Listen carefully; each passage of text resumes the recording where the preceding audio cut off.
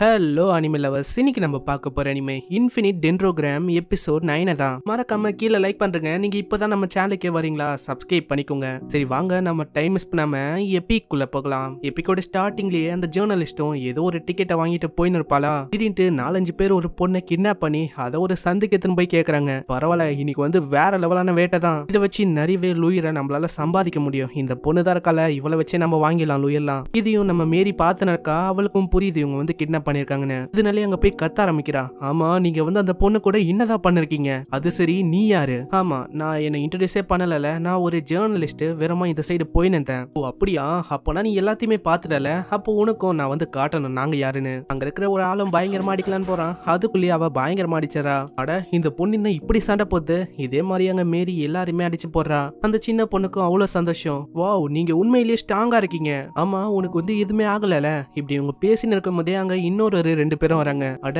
நம்ம லேடி வந்து இங்க தான் இருக்காங்க. அவங்க பக்கத்துல ஏதோ ஒரு வித்தியாசமான பொண்ணு இருக்கு. என்னது வித்தியாசமான பொண்ணா? ஆனா அதுக்குள்ளேயே அந்த சின்ன பொண்ணு அப்படியே இழுத்துன்னு போக ஆரம்பிக்குது. அட ஓடுறதே பரவாயில்ல. ஏன்னா அவங்க கிட்ட மாட்டிக்கினா அதுவும் ஒரு கெட்ட செய்தியா இருக்கும். இதனாலேயே மேரி அந்த பொண்ணு தூக்கிங்கன்னு பயங்கரமா குதிச்சு தப்பிக்க ஆரம்பிக்கிறா. இதுக்கப்புறம் அவங்க ஒரு இடத்துக்கு வந்து சாப்பிட ஆரம்பிக்கிறாங்களா? அப்புறம் தான் மேரிய சொல்றா. என்னோட பேரு மேரி எல்டர். உன்னோட பேர் என்னது? ஆ என்ன மன்னிச்சிருங்க. நான் வந்து என்னை பத்தி இன்ட்ரடியூஸே பண்ணல. நான் தான் எலிசபெத் இந்த நேஷனோட செகண்ட் பிரின்சஸே நான் தான். ஓ அப்படியா?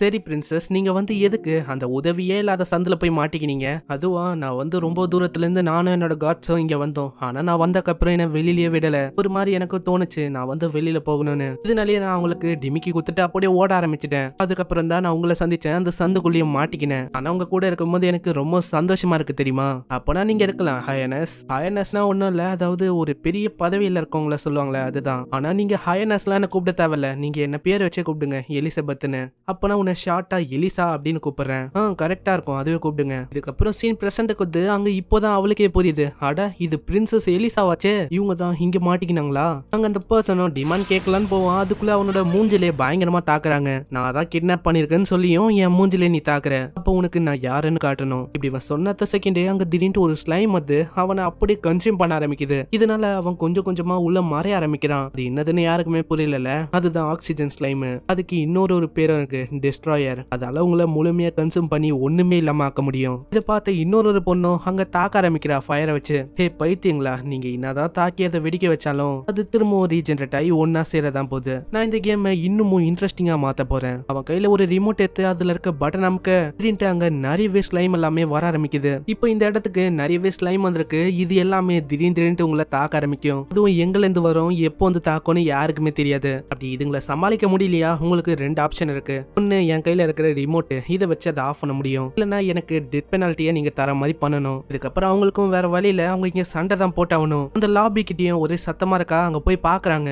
அங்கே இருக்கிற யாராலையுமே வெளியில் போக முடியல. ஏன்னா ஆல்ரெடி ஒரு பேரியர் வெளியில் ஆக்டிவேட்டில் இருக்கு. அந்த பர்சனும் திடீர்னு மஞ்சு போயிடுறான். அங்கே யாருக்குமே ஒன்றுமே புரியல. ஏன்னா எங்கே பார்த்தாலும் ஒரு பேரியராக தான் இருக்கு. திடீர்னு அங்கே ஒரு ப்ரொஜெக்ஷனும் வருது. என்ன எல்லாருமே ரொம்ப கன்ஃபியூஷனில் இருக்கீங்களோ? ஆனால் உங்களோட கன்ஃபியூஷனை நீக்கிறதுக்கு தான் நான் இங்கே வந்திருக்கேன். ரொம்ப அவசரப்பட்டு எதுவும் நீங்கள் அந்த பேரியர் கிட்ட பண்ணுறாதீங்க ஏன்னா நீங்க ஒவ்வொரு அட்டாக் அது மேல பண்ணும் போதும் வெளியில மாஸ்டர் வந்து ஒவ்வொரு வாட்டி ரிலீஸ் ஆகும். இதனால உங்களோட கிங்டம்ல ஒரு ஒரு டைமும் நிறைய பேர் இறக்குறதுக்கு நிறைய வாய்ப்பு இருக்கு. இது கேட்டு இருக்கும் போதே ஒருத்தன் கோவமாயிட்டு அந்த ஹாலோகிராமையும் அப்படியே உடைச்சிடறான். இதுக்கப்புறம் தான் அவங்களுக்கே புரியுது இது ஒரு டெட் என் மாதிரி தான். அதாவது வெளியிலயும் வார் நடக்க போகுது. அதுல இது வேற. இதனால நம்ம பக்கம் நிறைய பேர் இல்லாம போவாங்க. இதுக்கப்புறம் வெளியில இருக்க சீனை காட்டுறாங்க. அங்க எலிசாவும் கேக்குறா ஆமா நீ வந்து எதுக்கு கிடியன் மேல அட்டாக் பண்ணிருக்க? அது என்ன விஷயம்னா வெறுமா நான் வார வந்து தடுக்கணும்னு பாக்குறேன். இப்போ என்னோட பிளானை நான் பயங்கரமா எக்ஸிக்யூட் பண்ணிட்டேன். இதுக்கு மேலேயும் எந்த விதமான பிரச்சனையும் எனக்கு வராது. இப்போ அந்த நைட் இல்ல அந்த கிங்காலையும் என்ன எதுவும் பண்ண முடியாது. இப்போ இந்த சிட்டி முழுக்க ஒரே பரபரப்பா இருக்கும். ஏன்னா நான் உன்னை கிட்னாப் பண்ணிட்டேன்ல? ஸோ அதனால அவங்க வந்து ஒரு மாதிரி தான் இருப்பாங்க. இதனால அந்த வாரம் திரும்பவும் ஏற்படாது. எல்லாரோட கவனமும் இப்போ ஓ மேலே தான் இருக்கும். ஆனா நீங்க இப்படிதான் யோசிக்கிறீங்களா? இதுக்கப்புறம் உள்ள இருக்க சீனை காட்டுறாங்க. உள்ள அவங்களுக்கு ஒண்ணுமே புரியல. நம்ம வந்து இப்படி வெளில போறது. இப்போ வெளியில இருக்க ஃபோர்ஸஸ் அவங்க என்ன பவர்ஃபுல்லா இல்லையா என்ன?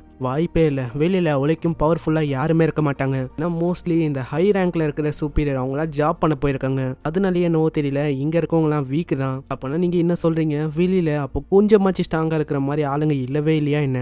அதை கணக்கெடுக்கிற வேலை எல்லாமே ஃப்ராங்க்லினோட வேலை தான். அவன் தான் கணக்கெடுத்தான் வெளியிலேயே சில பேர் இவங்க வெளில வரக்கூடாது அப்படின்னு சொல்லி நின்று இருக்காங்க அங்கே ரேக்கும் ஒன்றுமே புரியாமல் அப்படியே பேரியருக்குள்ளே கையை விடுறானா அது பார்த்தா அப்படியே வெளியில் வருது. அட இது என்னோட கை வெளியில் வருது? ஆமாம் நீங்கள் யாராச்சும் பேரியரை தடுக்கிற மாதிரி ஏதாச்சும் ஸ்கில் வச்சிருக்கீங்களா என்ன? அப்படிலாம் ஒன்றும் இல்லைப்பா எங்க அந்த மாதிரிலாம் ஸ்கில் இல்லை. அப்போனா என்னது இது? அப்போனா எனக்கு ஒரு டவுட்டு உன்னோட லெவல் என்னது? இந்தா நாற்பத்தொன்று இப்போ தான் எனக்கு எல்லா விஷயமும் புரியுது. அதாவது ஐம்பது லெவல் கீழே இருக்கிறவங்களால இதுக்குள்ளேருந்து வெளியில் போக முடியும். ஓ அதுதான் மேட்ரா அப்போனா கீழே இருக்கிறவங்களால வெளியில் போக முடியும். இதனால எல்லாருமே அங்கே ஒரு பிளானையும் போடுறாங்க.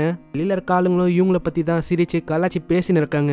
உள்ளே இருக்கிற ஆளுங்களை பார்த்தியா ஹை லெவலான சுப்பீரியர்ஸ்லாம் உள்ளே இருக்காங்க. ஆனால் இப்போ கையை கட்டின்னு சும்மா தான் உட்காந்து இருக்காங்க. இப்படி இவங்க சொல்லின்னு இருக்கும்போதே அங்கே ரே வர்றது அவங்களுக்கு தெரியுது. ஒரே ஒருத்தன் தானே அவனால் என்ன பண்ண முடியும்? அங்கே ரேவும் அவனோட ஸ்மோக்கை வச்சு அட்டாக் பண்ண ஆரம்பிக்கிறான். இதனால அவங்களோட எபிலிட்டி எல்லாமே அப்படியே குறைஞ்சு போகுது. சீக்கிரமா ஹீல் பண்ணுங்க. நம்ம வந்து எழுந்து நிற்கணும் ஏன்னா நம்ம நிறைய பேர் இருக்கோம். ஆனால் என்னதான் ஹீல் பண்ணாலும் அங்கே அதுக்குள்ளே இன்னொரு ஒரு மாஸ்டர் வந்து தாக்க ஆரம்பிக்குது. அட ஹூக்கு கிட்ட இப்படி இந்த மாதிரி மாஸ்டர்லாம் இருக்கு. இருந்தாலும் நம்ம கவலைப்பட தேவையில்ல. ஏன்னா நம்ம கிட்ட நிறைய ஆளுங்க இருக்காங்க. ஆனா அதுக்குள்ளே ஸ்டைல்ல நிறைய பேரை தாக்க ஆரம்பிக்கிறாங்க. அங்க பேபிலோனா அவளோட சாம் அட்டாக் வச்சு பயங்கரமா சாம் பண்ணி தாக்குறா.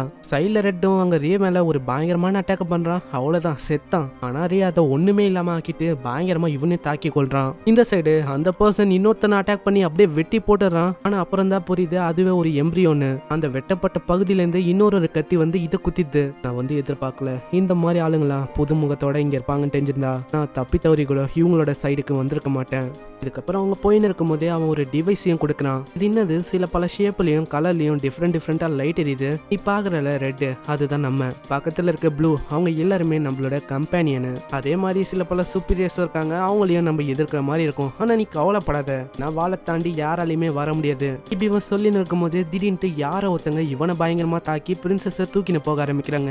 அட நான் எதிர்பார்க்கல. இந்த மாதிரி ஆளுங்களும் இந்த உலகத்துல இருக்காங்கன்னு. ஏன்னா ஒரு மாஸ்டர் கிட்ட எந்த விதமான சூப்பீரியரும் இல்ல. அப்ப இவ தான் அந்த சூப்பீரியர் கில்லரா இதுக்கப்புறம் வேற ஒரு சீனை காட்டுறாங்க. அங்க ரேவும் வெஸ்ட் நோக்கி போயின்னு இருக்கான் ஆமா நீ வந்து எதுக்கு ரொம்ப அவசரமா இந்த சைடு போயின்னு இருக்க? நம்ம வேற ஒரு பாதையில போகணும். ஆனா அவன் வெஸ்ட்ல ஏதோ ஒரு விஷயம் இருக்கு அப்படின்னு சொன்னான் அதனால நான் கண்டிப்பா அந்த விஷயம் என்னது அதை வந்து நான் கண்டுபிடிக்கணும். இதுக்கப்புறம் வேற ஒரு சீனை காட்டுறாங்க. இப்போதான் நம்மளுக்கே புரியுது. அங்க பிரின்சஸ் தூக்குனது வேற யாருமே இல்ல. அது மேரி தான். ஆமா உன்னோட கையில அது என்ன பொருள். இதை பாருங்க. இதுல வந்து லைட் எரியுதுல. அந்த ரெட் கலர் லைட் தான் நம்ம. மற்றவங்க எல்லாருமே இனிமே ஆளுங்க. பரவாயில்லையே இதை வச்சு கண்டுபிடிக்க முடியுது. ஆனா இரு அவன் இன்னமும் சாகலையா? அப்போனா நான் ஏதாச்சும் ஒன்று பண்ணி ஆகணும் நம்ம சீக்கிரமா கேசலுக்குள்ள போய் ஆகணும் இப்படி இவ யோசனை இருக்கும்போதே திடீர்னு அவ பிரின்சஸ ஒரு பறவையை மாத்தி அப்படியே கொண்டு போக ஆரம்பிக்கிறான். என்ன மன்னிச்சிரு சுப்பீரியர் கில்லர் ஆனா இப்போ இதுக்கான டைம்லாம் என் கிட்ட இல்ல. எனக்கு ஒரே ஒரு விஷயம் புரியல. நாங்க வந்து அவுட் ஆஃப் ரேஞ்சில் இருக்கோம். எப்படி உன்னால இதை பண்ண முடியுது? ஏன்னா இந்த இடம் முழுக்க மாஸ்டர்ஸா இருக்கு. அதுக்கும் மேல என்னோட ரேஞ்சும் அதிகமா தான் இருக்கு. இதனால அவர் ரொம்ப கடுப்பாகிறான் அங்க முன்னாடி இன்னொருத்தனும் வரான். அட நீ வந்து வருவன்னு எதிர்பார்க்கல. நான் என்ன நினைச்சேன்னா நீ ஒரு சாதனமான பப்பச்சோ காட்டுறவன் நினைச்சேன். நீ தப்பா இட போட்டேன்னு நினைக்கிறேன். அங்க அந்த பர்சனும் இன்ட்ரடியூஸ் பண்றான் நான் தான் வெல்பர் பில் எனக்கு இப்போ ஒரு சுப்பீரியரான ஜாப் கொடுத்துருக்காங்க. அதை நான் பண்ண போறேன். ஏய் மரியாதை நீ செத்து போயிடு. ஏன்னா எனக்கு டைம் இல்லை. இப்போ நீ செத்தாதான் நல்ல சீக்கிரமா அங்க போக முடியும். ஓ அப்படியா? எதுக்கு நீ ரொம்ப அவசரப்படுற? நம்ம பொறுமையா சண்டை போடலாம். இதுக்கப்புறம் வேற ஒரு சீனை காட்டுறாங்க. அங்க இருக்கிற நிறைய பேருக்கு ஏதோ ஒரு பெரிய ரோபோட் இருக்கிற மாதிரி தெரியுது. அதை பாத்தீங்களா அது ஒன்றும் ரோபோட் இல்ல. அது டார்ஃபோட ஒரு சூட்டு தான் அது. அங்க அது என்னது நம்ம செக் பண்ணலாம். இதனால நிறைய பேர் அங்கே போக ஆரம்பிக்கிறாங்க. அவங்க எல்லாருமே அப்படியே அவன் ஃப்ரீஸும் பண்ணிடுறான். அங்கே இன்னொரு ஒரு பர்சனும் சொல்கிறான் ஓ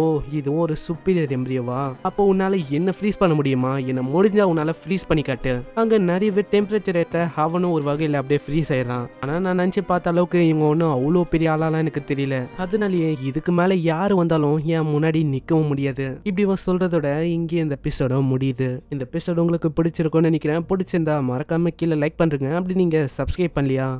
சப்ஸ்கிரைப் பண்ணிக்கோங்க. ஏன்னா அப்பதான் இதுக்கு தவிர எபிசோட் நோட்டிபிகேஷனா வரும். இவங்க இந்த வீடியோவை இங்கேயே முடிச்சனால நானும் இந்த எபிசோட இங்கேயே முடிச்சுக்கிறேன். உங்களை நெக்ஸ்ட் எபிசோட சந்திக்கிறேன். தேங்க்யூ ஃபார் வாட்சிங் சைனரா